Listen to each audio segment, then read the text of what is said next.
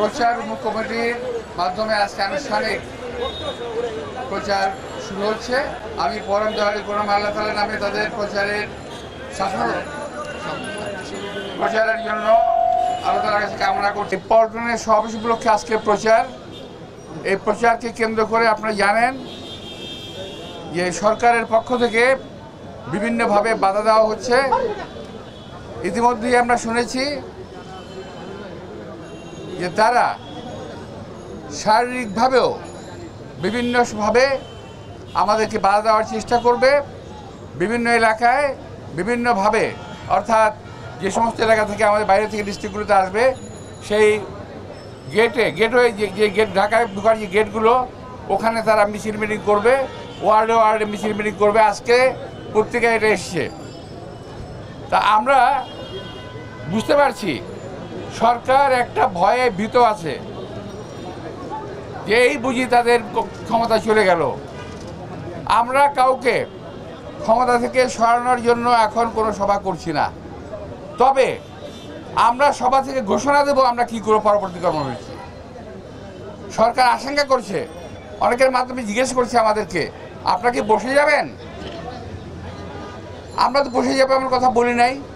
আমরা আমাদের যে আবেদনপত্র আবেদনপত্রে পরিষ্কার বলেছি যে আমাদের পাঁচটা থেকে এই তিনটা তিনটা থেকে বারোটা থেকে পাঁচটা পর্যন্ত।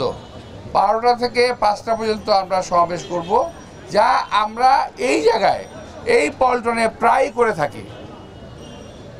হয়তো একটু ওই দিন বড় হবে। এই তো সমস্যাটা। তো সরকার একটা ইগো প্রবলেমে ভুগছে ইগো। একটা জেদ ধরেছে সরকার। বিএনপিকে করতে দেবে না। তবে আমরা কোনো জেদ ধরি নাই। আমরা আমাদের যে ন্যায্য দাবি আওয়ামী লীগ তার পার্টি অফিসের সামনে আজকে বিশ থেকে পঁচিশ বছর হয়ে গেল রাস্তা বন্ধ রেখেছে। যাতায়াত নিষেধ গাড়ি করে যাতায়াত নিষেধ। আমরা তো তা করি নাই। আমরা সময়ে সময়ে আমাদের সবাই এখানে করছি। আমরা আমাদের পার্টি অফিসের সামনে রাস্তায় একটা সভা করতে পারি। আমাদের আমরা আবারও বলছি আমাদের মিটিং সম্পূর্ণ শান্তিপূর্ণ সভা হবে। সমাবেশ হবে। এখানে কোনো সরকার যদি কোনো ঝামেলা না করে, আমাদের পক্ষ থেকে কোনো ঝামেলা হওয়ার কোনো সম্ভাবনা নাই। আমরা প্রমাণ করে দিয়েছি, আমাদের আটটি নয়টি সমাবেশে, আজকে রাজশাহীতে আমাদের সমাবেশ, বাইরে ঢাকার বাইরে সমাবেশ শেষ। সেখানেও আমরা সরকার বিশৃঙ্খলা সৃষ্টি করার চেষ্টা করার পরেও আমরা সেখানে শান্তিপূর্ণ সমাবেশ করেছি এবং করছি। এখন আপনাদেরকে আমরা অনুরোধ জানাব আপনারা দয়া করে সরকারকে অনুরোধ করছি যে আপনারা দয়া করে মামলা বন্ধ করুন বোমাবাজি বন্ধ করুন সন্ত্রাসী কারণে কার্যক্রম বন্ধ করুন গ্রেফতার বন্ধ করুন। ইতিহাস সৃষ্টি করবেন না যে সরকার সন্ত্রাস সৃষ্টি করে এমন কোনো ইতিহাস কিন্তু বাংলাদেশে এখনও হয় নাই। আপনারা করছেন। আপনারা এক এক একের পর এক ইতিহাস সৃষ্টি করছেন। দয়া করে ন্যাক্কারজনক ইতিহাস আপনারা সৃষ্টি করবেন না।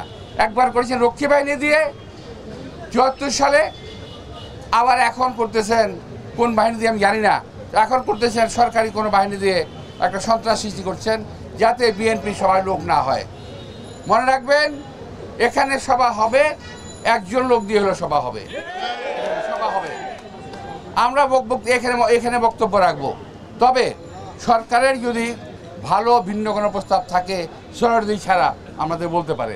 আপনাদের সবাইকে আন্তরিক শুভেচ্ছা এখন